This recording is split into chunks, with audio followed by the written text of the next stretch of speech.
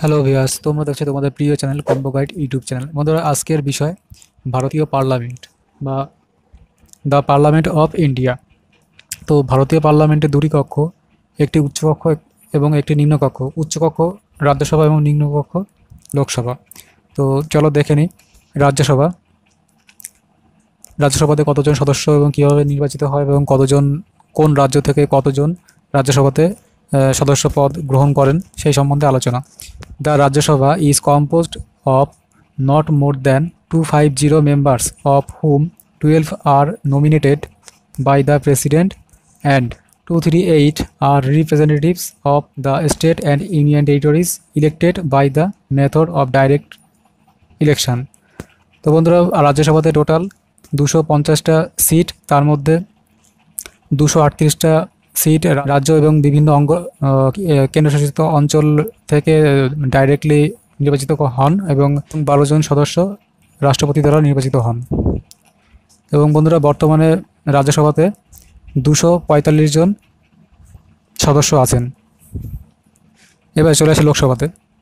The Lok Sabha is composed of not more than five three zero representatives of the state not more than 20 representatives of the union territories and not more than two members of Anglo-Indian community nominated by the president.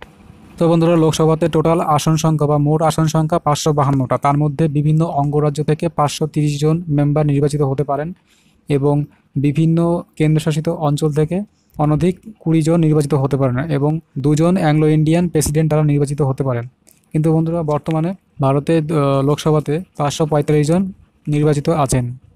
বন্ধুরা তোমরা যদি আমাদের combo guide YouTube চ্যানেলে নতুন এসে থাকো তবে অবশ্যই আমাদের চ্যানেলটিকে সাবস্ক্রাইব করো এবং সঙ্গে বেল বাটনটি দাবিয়ে অল নোটিফিকেশনটি অন করে দাও। কেননা এই ধরনের গুরুত্বপূর্ণ ভিডিও যখন আমরা আপলোড করব তখন তোমাদের অজান্তে তোমাদের মোবাইলে নোটিফিকেশান আকারে পৌঁছে যাবে এবং তোমরা আপডেট থাকতে পারবে।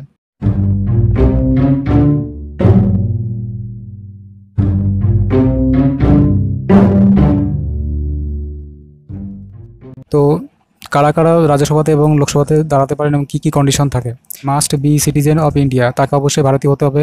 লোকসভাতেও তাই must be citizen of India এবং রাজ্যসভাতে এজের কী পার্থক্য লোকসভা থেকে? Must not be less than thirty years of age in the case of Rajya Sabha. রাজ্যসভার সদস্য হতে গেলে তাকে অবশ্যই তিরিশ বছর হতে হবে। তিরিশ বছর কম হলে হবে না। কিন্তু লোকসভাতে must not be less than twenty five years of of age in the case of Lok Sabha.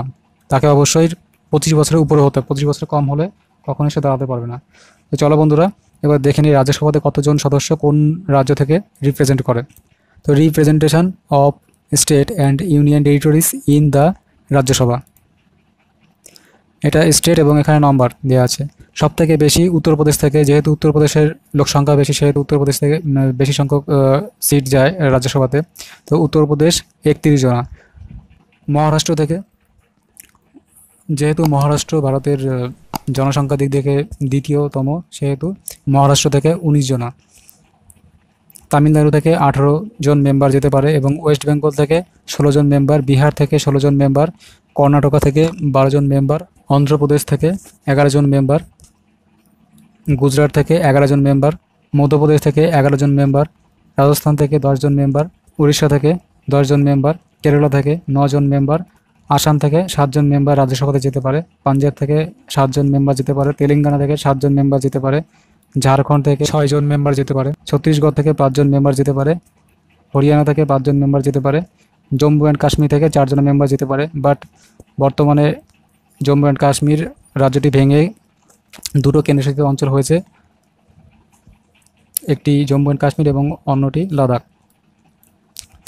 Himachal Pradesh তিনজন মেম্বার যেতে পারে, উত্তরাখণ্ড থেকে তিনজন মেম্বার যেতে পারে, গোয়া থেকে একজন মেম্বার যেতে পারে, মণিপুর থেকে একজন মেম্বার যেতে পারে, নাগাল্যান্ড থেকে একজন মেম্বার সিকিম থেকে একজন মেম্বার ত্রিপুরা থেকে একজন মেম্বার অরুণাচল প্রদেশ থেকে একজন মেম্বার মিজোরাম থেকে একজন মেম্বার এবং মেঘালয় থেকে একজন মেম্বার যেতে পারে রাজ্যসভাতে। এবং বন্ধুরা, ইউনিয়ন টেরিটরির মধ্যে দিল্লি থেকে তিনজন মেম্বার যেতে পারে রাজ্যসভাতে এবং পুডুচেরি থেকে একজন মেম্বার রাজ্যসভাতে যেতে পারে। তো এইভাবে রাজ্যসভাতে দুশো আটত্রিশ জন মেম্বার যেতে পারে রাজ্যসভাতে। এবার দেখে নেব লোকসভাতে কতজন মেম্বার যেতে পারে। কোন কোন রাজ্য থেকে। Representation of state and union territories in Lok Sabha. তো লোকসভাতে কতজন সদস্য, কোন রাজ্য থেকে কতজন যেতে পারেন। সেটা দেখে নেব। স্টেট অ্যান্ড ইউনিয়ন টেরিটরি এবং তার নাম্বার উত্তরপ্রদেশ থেকে আশি জন মেম্বার লোকসভাতে যেতে পারে। মধ্যপ্রদেশ থেকে আটচল্লিশ জন মেম্বার লোকসভাতে যেতে পারে। ওয়েস্ট বেঙ্গল থেকে বিয়াল্লিশ জন মেম্বার লোকসভাতে যেতে পারে। বিহার থেকে চল্লিশ জন মেম্বার লোকসভাতে যেতে পারে। তামিলনাড়ু থেকে উনচল্লিশ জন মেম্বার, মধ্যপ্রদেশ থেকে উনত্রিশ জন মেম্বার যেতে পারেন। কর্ণাটক থেকে আঠাশ জন মেম্বার যেতে পারেন। গুজরাট থেকে ছাব্বিশ জন মেম্বার যেতে পারেন। রাজস্থান থেকে পঁচিশ জন মেম্বার যেতে পারেন। অন্ধ্রপ্রদেশ থেকে পঁচিশ জন মেম্বার যেতে পারেন। উড়িষ্যা থেকে একুশ জন মেম্বার। কেরালা থেকে কুড়ি জন মেম্বার। তেলেঙ্গানা থেকে সতেরো জন মেম্বার।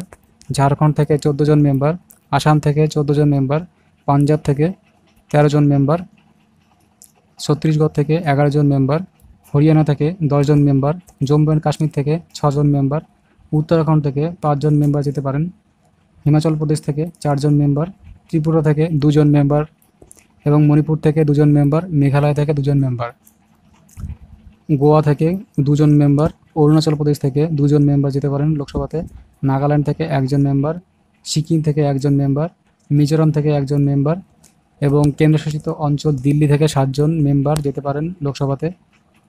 পুডুচেরি থেকে একজন মেম্বার চণ্ডীগড় থেকে একজন মেম্বার লাক্ষাদ্বীপ থেকে একজন মেম্বার দাদরা অ্যান্ড নগর হাভেলি থেকে একজন মেম্বার দমন অ্যান্ড দিউ থেকে সরি এখানে দমন আছে কিন্তু অ্যান্ডের পরে একটা দিউ হবে সেটা টাইপ মিস্টেক হয়েছে। দমন অ্যান্ড দিউ থেকে একজন মেম্বার আন্দামান অ্যান্ড নিকোবর দ্বীপপুঞ্জ থেকে একজন মেম্বার যেতে পারেন।